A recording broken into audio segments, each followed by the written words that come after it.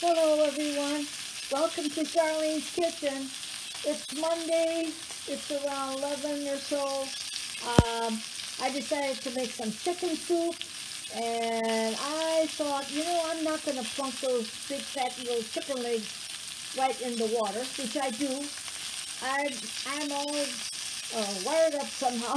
and I thought, I'm going to fry them up. I'm going to get that skin on that chicken nice and brown. I threw that onion in there. I want to get that uh, kind of blackened a little bit, okay? Then I'm going to throw it into the water. And I have my pot going already. I never fill it up completely, okay? Big pot, about not quite half full. Until my chicken is done, or near done, then I start adding more water to it. I want it to get nice and tender before I do all that because then I can just scrape off uh, some of the fat uh, before I add all my other goodies to it.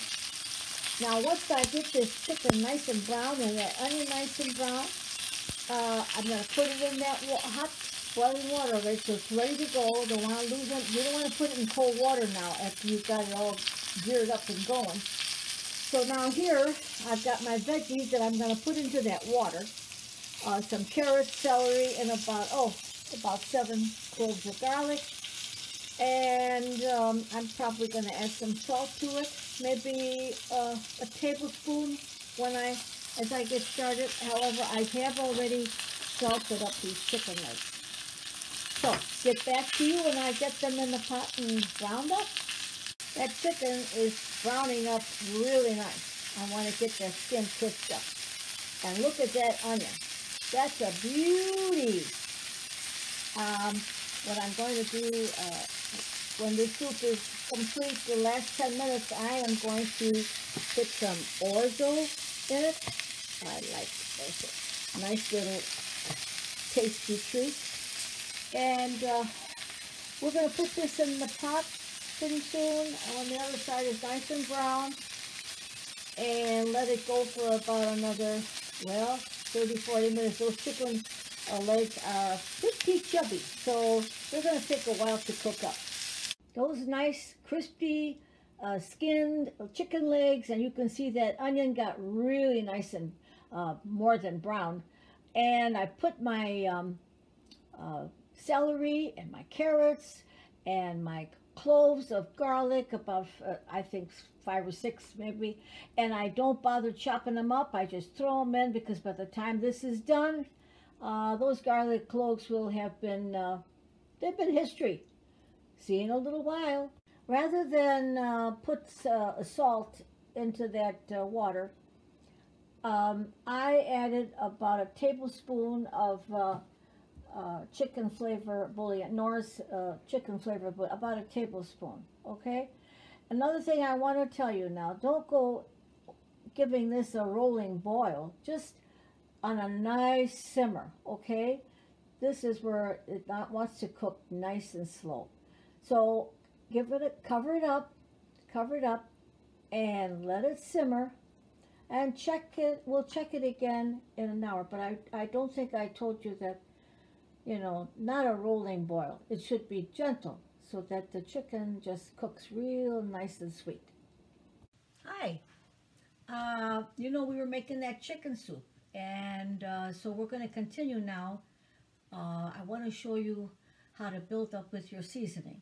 Once the chicken was done, and, and I have to tell you, that chicken cooked up sooner than I thought because they were big chicken legs, but we did fry them ahead of time, really nice and brown.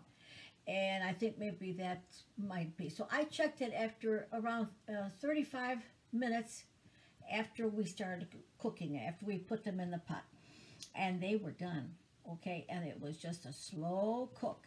And I want to show you how beautiful uh, that chicken uh, turned out. Now, what I did, I took the chicken bones, chicken legs out, and I scraped the chicken off, you know, like you would shred your your uh, uh, pork or, or, you know, or other, for barbecue, for instance. That's a little piece of fat there. I took off that little bit of fat that was around because uh, it's not appealing and it got soft. And so I scraped that off I put it in a little strainer. I took out all the, um, you know, the weepy celery, but I kept the carrots. I love the carrots, and I mashed them.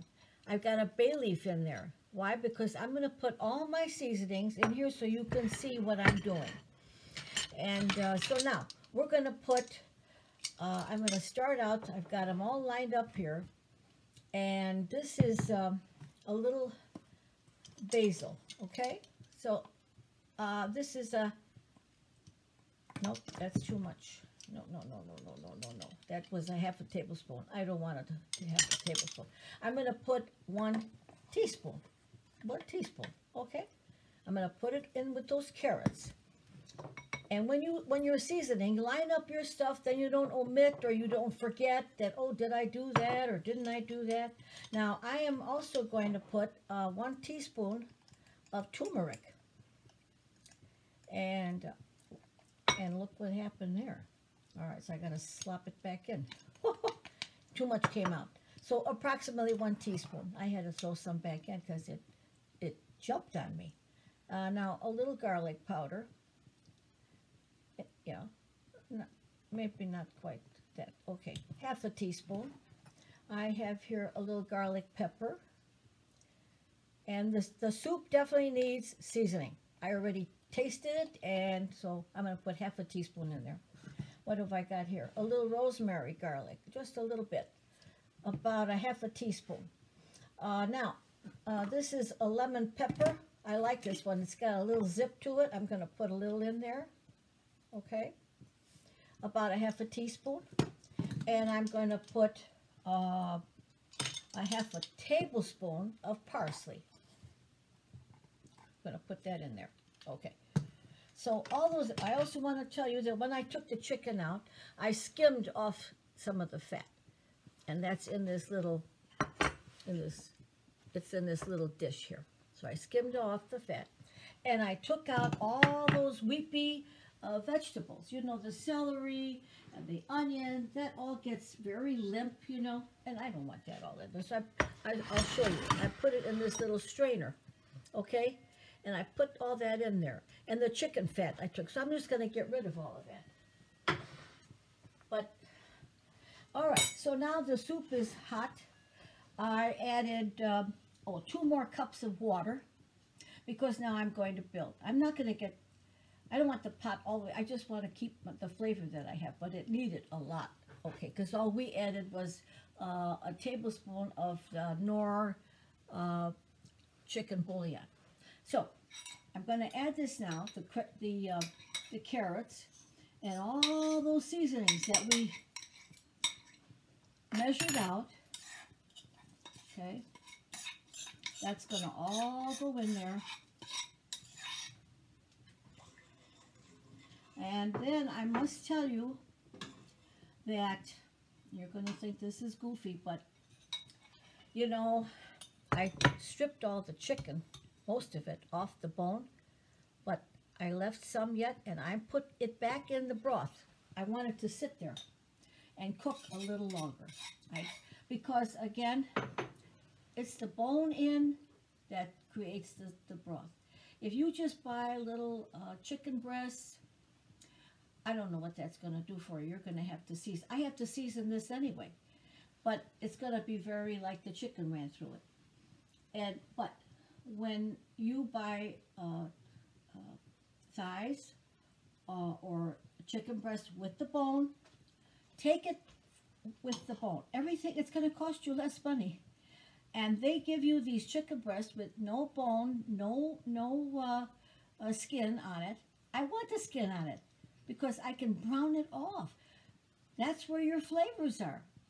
Okay, so we still have those chicken bones in there. No, no problem for me on that. So I'm going to now, um, I'm going to taste it. I'm going to taste it because I don't know. They put all that in there. I want to see where I'm at. Always taste it. And never, never I set an hour on the chicken. The chicken was perfect in 35 minutes. So I took it out. It probably wouldn't have hurt, but why, why keep it going? Let's see.